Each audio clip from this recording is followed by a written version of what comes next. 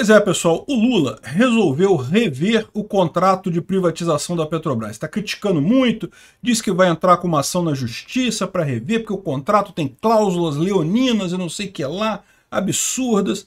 Vamos entender essa história porque, não sei se você lembra, mas na época da campanha, sabe o que, que o Lula falou? Não, não vou rever nenhuma privatização, vou respeitar todos os contratos, né?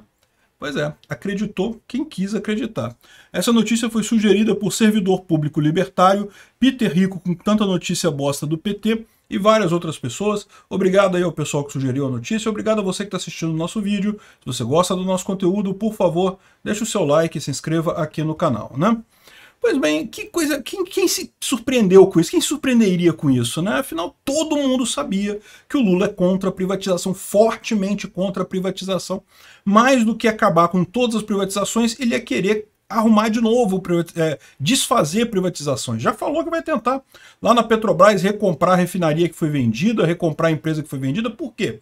Por que, que ele quer fazer isso? Porque ele quer botar os coleguinhas dele nos cargos de, de chefia. É para isso que serve estatal, para você colocar os coleguinhas pendurados lá, um monte de gente incompetente para fazer maracutaia, para fazer bandidagem, e aí com menos estatal, com menos, com menos empresa pública, o Lula não consegue roubar tanto assim. Como assim, pô? Não pode. Tem que abrir o caminho para ele roubar mais, pô.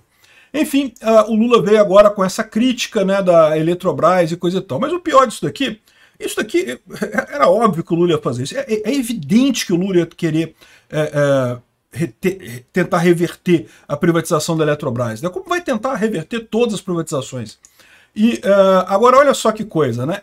É, em, em setembro, antes da eleição, antes da eleição, no período antes da eleição, quando ele estava querendo pegar o apoio do pessoal, dos, uh, dos isentões lá de São Paulo, aquela galera que acabou votando nele e que fez a diferença, que acabou dando a vitória para o Lula, Pois é, ele falou: não, eu não falo em rever privatização, não, não falo isso não. Não falo em quebra de contrato, não haverá quebra de contrato, que foi assinado, foi assinado.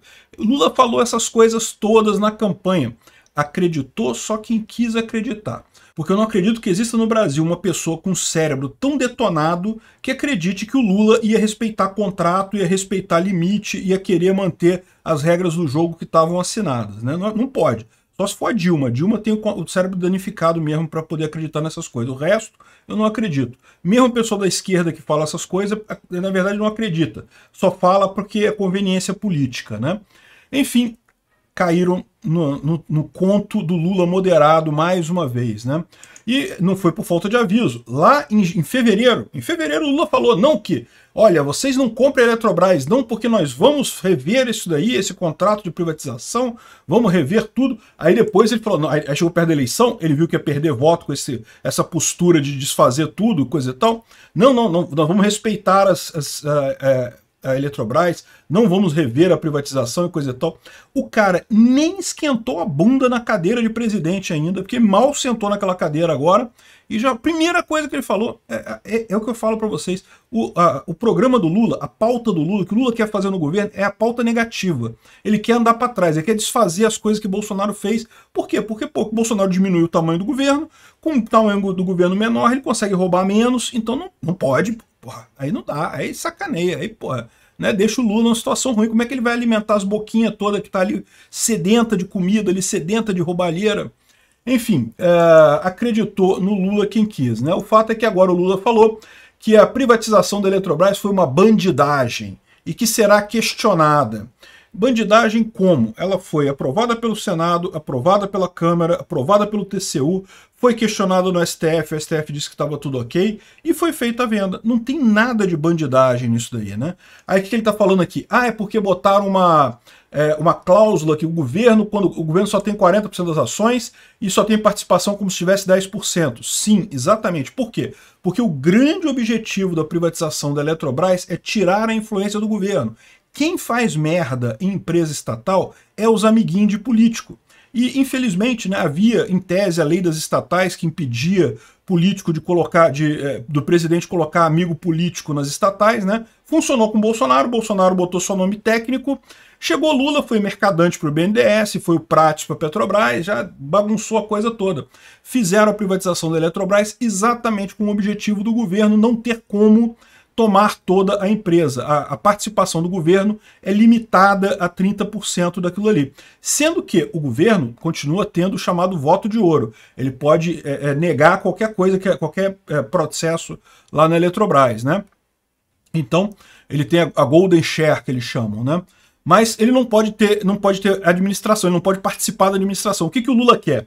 O Lula quer exatamente isso aqui, ó. Queremos ter mais gente na direção, mais gente no conselho. A gente quer botar mais boquinha, as boquinhas, cara. Os caras estão com fome, bicho. A gente tem que botar mais gente, arrumar mais lugar para botar os nossos, os nossos bicudos lá, para eles chupar mais na teta do Estado. Aí não pode, tem que botar mais gente na direção, mais gente no conselho. Esse negócio de você não poder comprar, porque vai pagar três vezes mais caro, e mesmo que ele compre tudo, ele não consegue ter 50, é, 100% da, da, da, da participação lá na, na empresa. Então, mesmo que o Lula tenha dinheiro para recomprar a Eletrobras, ele não consegue pelo contrato, foi feito exatamente por isso. O pessoal que fez isso daí sabia que aqui no Brasil, meu amigo, não tem esse papo, né? É, é, é governo mais liberal aqui dura um tempo, vai, sempre vai ter o pessoal para botar socialista no poder de novo, né? Então, uh, aí ele está criticando que os salários da, dos diretores da empresa saltaram de 60 mil para 360 mil. Por quê? Porque resolveram contratar diretores profissionais. O pessoal que dirige grandes empresas tem, é, ganha bem mesmo, não tem esse negócio não. É um cargo muito complicado, no final das contas, é o que se paga no mercado. Ah, mas que absurdo, não sei o que. Cara, dentro da, da, do preço da Eletrobras, do valor que se gasta na Eletrobras, isso aqui não é nada, não faz diferença nenhuma, né? Mas por que, que, o que, que tinha antes? O que, que, tinha antes era um monte de encostado lá, isso que eles estão reclamando. O pessoal tá tirando os encostados todo que tinha lá, um monte de peixada. Não era só do PT, não, tá? Tinha peixada do Sarney, do Collor, do Itamar, do Fernando Henrique. Tinha peixada de todo mundo lá dentro. O pessoal tá mandando a galera toda embora e o pessoal do PT tá sentido de novo, né? E é isso que vai acontecer. E não, e falou que não sei o que lá, que vai é, rever isso daí, vai entrar na justiça e coisa e tal. E o esse é o perigo, esse é o problema, porque foi tudo aprovado, foi tudo acertado, coisa e tal. Até o STF não, não aceitou parar a, a privatização da Eletrobras, porque estava tudo no acordo, mas nunca se sabe, né?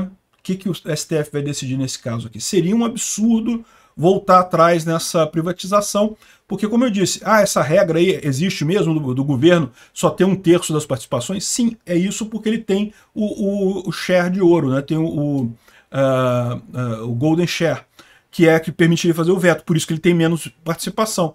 A ideia era exatamente o governo ter uh, esse veto para o caso de, por ser uma empresa nacional, uma, uma empresa estratégica, mas justamente ele não poder controlar, para o governo não controlar, não, não colocar peixada política lá dentro. Né? Esse é todo o objetivo da coisa. E, e, é o objetivo de toda, de toda a privatização. É o que eu falo para vocês. Tem muita gente que fala aí, ah, mas privatizar e não abrir o mercado não adianta. Adianta, adianta sim, melhora. Melhora porque tira essa gestão estatal de lá, tira essa padrinhagem de amigo político que indica não sei o que lá, que é só um diretor merda, uma cambada de bosta que fica gerindo essas estatais aí.